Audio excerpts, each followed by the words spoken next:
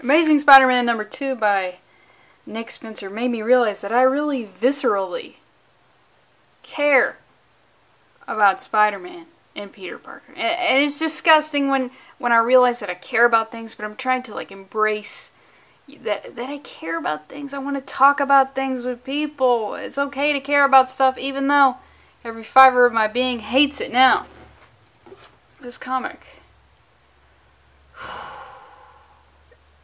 The only way I can really describe it is to reference Diversity and Comics when he says it's a pseudo comic. And I mean, I'm holding it in my hand. You're seeing it on the screen. It's here, right? I bought it at the comic book store but a lot of things happen in it and it makes me feel real bad. So you know what, let's get into this. I almost hung this up because you know what, I made that video about hanging comics up. I've got a ton of comics up now and none of them are Spider-Man. He's my favorite. So if you know of any, like, just doesn't matter when, but not like a thousand dollars. Like, come on, dude. Like, one dollar. Just, or just tell me any really good Spider-Man covers. Because I, I have no clue. I have no clue. So let's just get into this. Let's get back to basics. I you know the first issue I didn't think was that bad. It had it had changed some stuff around, but you got to do that. Got to keep that shit fresh. You know what I'm saying? But it was a little off, but I didn't think it was bad. And pretty much at Marvel with like the big heroes, you just got to shoot for it not that bad. That's that's the line here. So we start off what? Oh shit, we're on the Serengeti. That's that's kind of weird. The world can be a tough place. Yeah, I mean, I wouldn't want to live in Africa. I mean, maybe South Africa, but even then, right? One day you're just minding your own business, going your own way, and then suddenly everything falls apart. Oh no, blam! It's just a nat nat natural, Jesus, natural order of things, right? No matter what path we take, we can be sure there'll be pain, but not for me. Okay, so let me just, let's just get this shit out of the way. Okay, so we're in a Spider-Man comic. We're seeing some elements here. We're automatically going to assume that Kraven the Hunter is going to be making an appearance, right? I mean, he hunts, he hunts elephants. He's probably well past it. I mean, he's hunting a Spider-Man, so he's probably got his elephant hunting days put behind him. But, you know, he had this period of his life. Maybe it's when he was a child. Maybe he he cherished the memories of gunning down these huge dinosaurs, so nobody else can gun them down. Because I feel like I feel like it's accurate to say Kraven the Hunter's a bit of a dick. But I feel like what Nick Spencer is trying to do here is trying to emotionally manipulate people in a very sloppy, in a very not subtle whatsoever way. And here's what I'm talking about. Like this comic is a really good tool for learning about writing because I feel like like I want to write something and I don't want it to suck. So you got to read a lot to see like oh I don't like that blah blah blah. And this this is a good tool. So if you want to write, just totally stick around because we're gonna be pointing out some shit that you definitely don't want to be doing. So this right here is like he's trying to emotionally manipulate people by showing elephants being poached because anytime like some poachers get stomped or mauled or arrested or whatever we celebrate that. Literally every, like, a guy got mauled to death like a couple months ago. People were like, good. Which is, yeah, that's obviously my reaction as well. Also, he's referencing a scene that has nothing to do with the rest of the comic whatsoever. So he's trying to, like, manipulate your emotions by showing you some tragic shit that everyone, like, everyone but poachers, maybe even po poachers are like, I gotta feed my family. This is the only way I know how. You best learn you better go to like fucking ITT Tech Africa or something because we don't like this. Stop shooting fucking elephant. but I'm just saying he's showing you a scene to make you feel something, but it's so out of nowhere, it's so immediate, it has nothing, it's just poorly done. That's what I'll say about it. And then we cut to Spider-Man, which the transition is like, oh, dead elephants? You know that makes me think of? Spider-Man in New York City getting beaten up at a book fair. Was that not your answer? Because that was Nick Spencer's answer. So we see Spider-Man, he's getting fucked up. It's nothing... No, sir, my life is coming up nothing but sunshine and roses these days. Spidey, you're covered in rings. And we see he's getting beat up by Man Mountain Marko. I've never heard of that guy. Spider-Man is the most the character I've read the most, and then Batman. But I've never heard of Man Mountain Marko and the Ringer, which I have heard of. Which I gotta tell you that this right here, if he had some crazy looking teeth, he'd be even crazier. But see what Nick Spencer here is doing when we get into this pseudo comic type shit. This is where it's also going to feel real bad for the Spidey fans out there. He's got these D-list superheroes, which even Spider-Man references and calls them D-list. He, so you're throwing Spider-Man. Spider-Man. Like, I feel disgusted really caring about this. Like, I'm getting into some nerd territory, and I don't like it. I don't like it whatsoever. I gotta go buy some fucking sneakers and be flexing on people at the mall so people know that I'm street after I do this. But, um, so he's got D-list villains who are talking about libraries and Amazon, you know that shit that's in the fucking media right now. And he's beating up these D. So, oh my god, I hope I am being articulating my point here. You're you're Spider-Man, one of the biggest superheroes of all time, and you're making him go against these D-listers. Now, there's nothing wrong with a D-list villain. Uh, if you change him, if you try to elevate his status, because look, Man Mountain Marko, I have no preconceptions about him at all. He should be like a cannibal, just straight up eating people right now in this fucking lobby, and then you're like, holy shit, is Man Mountain Marko like an OG? Is he a fucking A-lister? Is he S tier? What's going on? But no, it's just like the whole thing is jokey, and it's not fun or interesting, and you're like, oh, Lindsey, Spider-Man, it's supposed to be jokey. Yeah, yeah, yeah. Let me get to that. So, I don't think this is very entertaining at all. It's just listening to me gripe. I try not to make these type of videos, but here we are. Here we are. You can click. you can close. I'll just give everyone a second to close out. Whew, okay, nobody's watching. Alright, so what this is, it's like, okay, Spider-Man, he's not a serious character. But the biggest moments of his career are these really huge emotional wrenching moments where he just thrives in terrible conditions or something. Spider-Man himself is not serious. But just because you put someone in you can put a not serious person in a serious situation and then you see them thrive. That's the whole that's the whole crux of Spider-Man. He's not serious, but he also is, but he keeps it light, but he can still tackle really heavy emotional stuff and battles and everything. It's not all jokey. It's not all like this. That's why we like Spider-Man. Like I'm not serious at all, but you can put me in serious situations and I'll probably do fine, but it's all about like the character like am I am I am I getting through to anybody here? Am I even getting through to myself? I'm just saying Spider-Man deserves better than this shit. And then like Nick Spencer's not even all up on the comedy, right? So he buys he doesn't even buy the bookseller's like, "Hey, I'm trying to support your independent bookseller." He's like, "No, Spidey, you can have these free books." So then he gives these guys two free books. So I'm thinking, I'm like, okay, Nick Spencer, you're going on the comedy route. What are the book titles? What are the really funny book titles going to be? It's going to be something to do with jail or something. But the, no, it never tells us what the book titles are. I'm like, dude, I'm like fucking three pages in. I've been talking for almost 10 minutes. Oh my god. Ugh. So he just gives them these books and he's like, you're going to have a lot of time to read.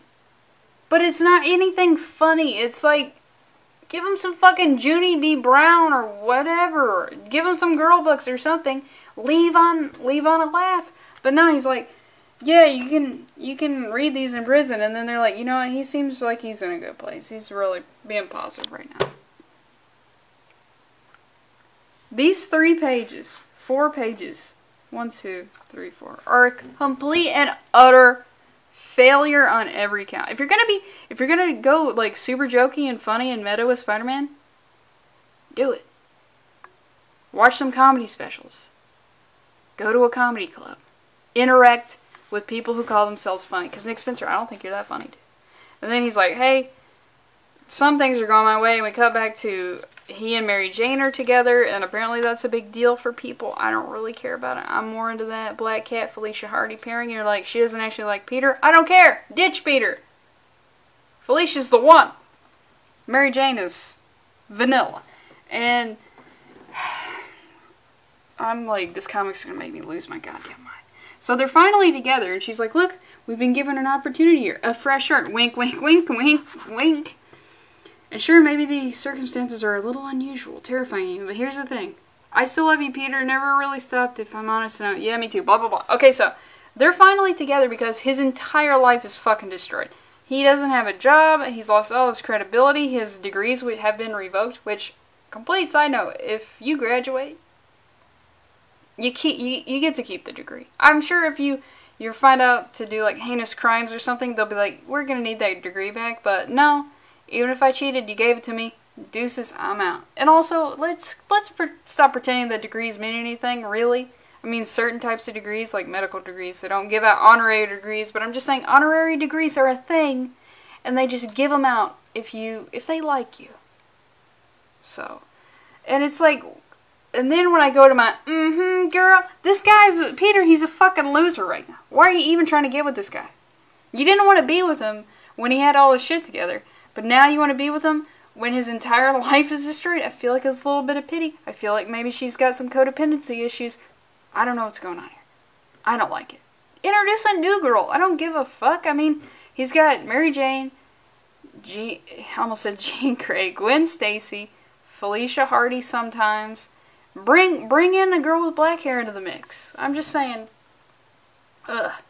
So, fuck me, dude. I'm not having any fun whatsoever.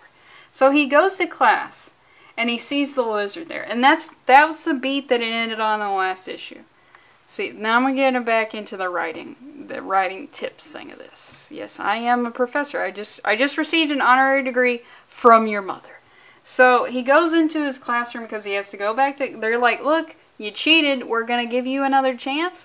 Uh, no. It's my understanding that. Dude, like the first day of all college classes, they're like, hey, don't cheat. Here's your syllabus. So he goes in and he sees the lizard and he freaks the fuck out. He says he's uh, an experienced supervillain attack person here. With that fuck that this chin could cut glass. So he goes in and he sees the lizard there and he's freaked out. Number one, this is this is wrong because it ends on the beat on the first issue. It ends seeing the lizard in the classroom, and he's like, man. And I understand you got to rehash some stuff because some issue you should treat every issue like it's somebody's first issue. I get that. I understand that. But the way that this could have been executed better is if he you just showed him in the classroom, you show the lizard teaching, and you go, God, I can't believe my degree got revoked and I have to be taught by the lizard, one of my sworn enemies. That's it. Boom. That's a panel. And you get more pages to try to do something other than to be like, oh no, the lizard, shit. Oh yeah, that's right. I knew this. It's it's cheap. It's cheating. You didn't even have him freak out in the first issue, and the first issue was like double sized or something. So I'm just saying, if you're writing it, various issues, be consistent with some shit because he saw the lizard and he didn't freak out, but he's freaking out now.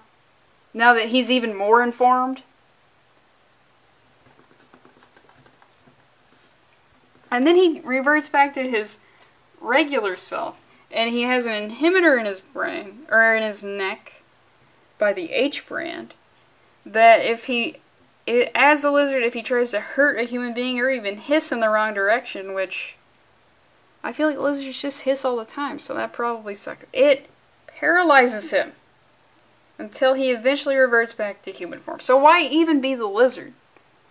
Ever. I mean, it explains this later. They say, we're doing tests on myself in, and I need to be the lizard. Okay, but like realistically, why does he have to be the lizard? Is it like a werewolf thing, like uncontrollable uncontrollable urges. But I'm just trying to think of like in this scenario, just be him all the time. He's sweating pretty profusely, so maybe he's like, oh, as a human I sweat, but as a lizard I don't.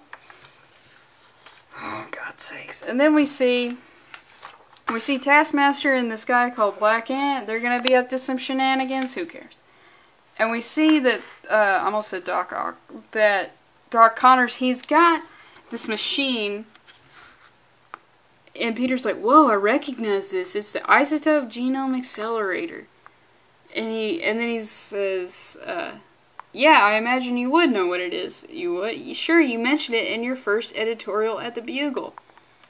Now, if you've seen something before and you've written extensively about it and it has contributed to you having radioactive spider powers, if you saw it, no matter how long it's been since you saw it, would you say, hey, I recognize this? No, you would say, oh no, that's the isotope Juno, and then isotope Juno. You know exactly what the fuck it is. You wouldn't say, oh, I recognize this. I'm a little familiar with it. I can't remember the precise name. No, you you know what you know what it is, baby girl. Don't front. And they're find out that they're doing like genetic testing to reverse engineer, blah blah blah. He don't he don't want to be lizard no more. He don't want to be the lizard man. And eventually Taskmaster and Black Ant, they come in, they've got some weak as fuck lines. And of course the lizard he reverts to the lizard, but he can't attack anybody because he's a useless fucking dinosaur. And you know what? He should at least be strapped. I mean, if the lizard you can't handle business, then regular Doc Connor should be packing a fucking nine in case it. Because Empire State University is always getting some fucking shit going on. Just get a fucking nine and you'll be fine. Aren't we trying to arm all the professors? So he, so uh, as Peter, he talks some smack to Taskmaster, so he gets thrown, and he webs some like, no, I'll show this right. So he gets thrown, and somebody's like, Peter! And he gets himself thrown so he can, like, be away from the crowd. But literally, like, no one comes to his aid, which is, like, fucking bananas, right? I know he's a cheater, and I don't know how far it is into the semester. Maybe he's gonna fuck up the groups. But literally none of them go to his aid. I mean, I know we got a skeleton man, and we got this guy who's an ant, which that'll ruin a picnic. But literally no one rushes over him, and then he uses that opportunity to jump out as Spider-Man. And they're like, what the hell just happened? Science happened. And this is when I go to the kitchen and I get a fucking knife and I just slit, I just slit at my wrist. Like, look, look at my veins. You can, you, you can see them. If I wanted to end it, it would be so easy. So easy to end it, Nick Spencer. Oh man, what do you think the repercussions would be if I in my blood, I was like, I killed myself because of Nick Spencer's amazing, amazing Spider-Man run. Would that be good for comics or bad? Comment down below. So he has some terrible lines that aren't funny whatsoever. He and I do like this. He smashes them in Black Ant's. I'm not even 100% sure that's his name. His uh like eye hole windows of glass they break. I like that. Attention to detail. And eventually, you see Spider-Man help someone up, but it was Peter. Who's this? Who is this man? If this is this man. So it's just like... A lesson in writing by Nick Spencer.